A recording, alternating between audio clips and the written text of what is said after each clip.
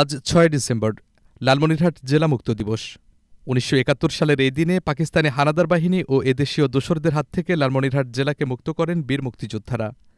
দিবসটি উপলক্ষে প্রতিবারের ন্যায় এবারও নানা কর্মসূচি পালন করেছে লালমনিরহাট জেলা প্রশাসন।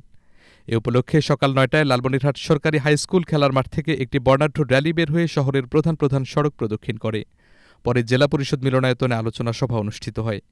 অতিরিক্ত জেলা প্রশাসক টি এম এ মমিনের সভাপতিত্বে এ সময় প্রধান অতিথি ছিলেন জেলা প্রশাসক মাহমুদুল্লাহ। বিশেষ অতিথি ছিলেন জেলা পরিষদ চেয়ারম্যান অ্যাডভোকেট মতিয়া রহমান, সাবেক সংসদ সদস্য সফুরা বেগম রুমি, পুলিশ সুপার মোহাম্মদ সাইফুল ইসলাম এবং সিভিল সার্জন ডাক্তার নির্মলেন্দু রায়সহ বীর মুক্তিযোদ্ধারা।